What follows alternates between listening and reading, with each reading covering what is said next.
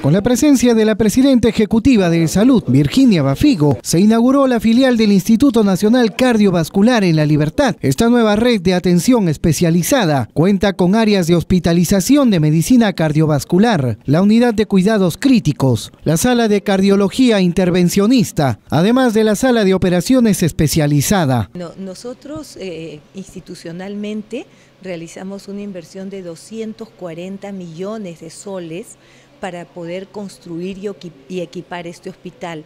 Todas estas salas de cateterismo, de eh, cirugía, de UCI, todo lo que ustedes van a ver en la filial INCOR de la Libertad, eh, todo eso está incorporado dentro de los 240 millones de soles iniciales. Esta nueva filial del INCOR beneficiará a más de un millón de asegurados de la macro región norte que podrán contar con atención oportuna. Bueno, en principio todos los asegurados de la región, que son más de 600 mil, pero sobre todo este es un polo macro regional.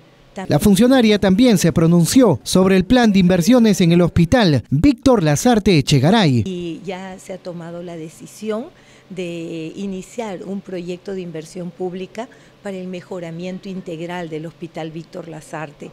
Eso también hará que el hospital pueda recuperar su capacidad resolutiva. En salud prevé que INCOR La Libertad, debido a su equipamiento e infraestructura, puede sumarse al Hospital Almanzor de Chiclayo para atender la demanda de los asegurados de las redes de Ancash, Huaraz, Cajamarca, Piura y Tumbes.